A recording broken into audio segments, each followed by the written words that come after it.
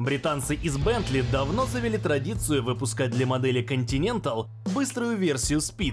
Правда, в новом поколении двухдверки скоростная модификация удивляет не столько динамикой, ведь шестилитровый мотор форсирован чрезвычайно умеренно. Так спур до сотни на спиде занимает на пару сотых меньше, нежели на обычном континентале.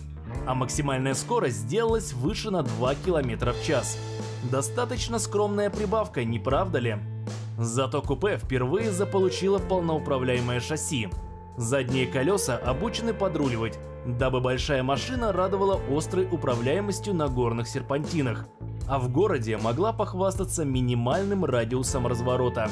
Также этому Бентли полагается электронно управляемая блокировка заднего дифференциала, а дополняют список усиленные тормоза, доработанная подвеска, плюс перепрошитая коробка передач, что меняет передачи вдвое быстрее обычного.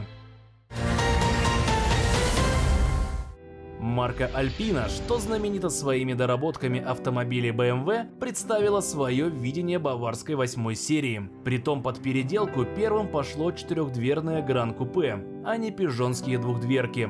И этому есть внятное объяснение. Как известно, ребята из местечка со смешным для нас названием Бухлоя пытаются делать не экстремально быстрые, а невероятно комфортные машины. То есть штут традиции большого туризма, когда обеспеченные господа колесили по дорогам Европы. С этих позиций восьмерки перенастроили восьмидиапазонный автомат и полноприводную трансмиссию. Сзади установили самоблокирующийся дифференциал, а в подвеску инсталлировали адаптивные амортизаторы. Под капотом скрывается доработанный V8, отдачу которого удалось нарастить на добрую сотню сил.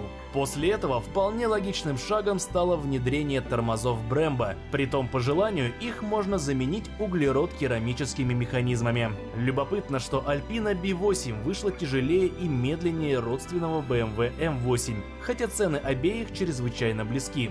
Хотя кого при покупке подобных автомобилей волнуют цены?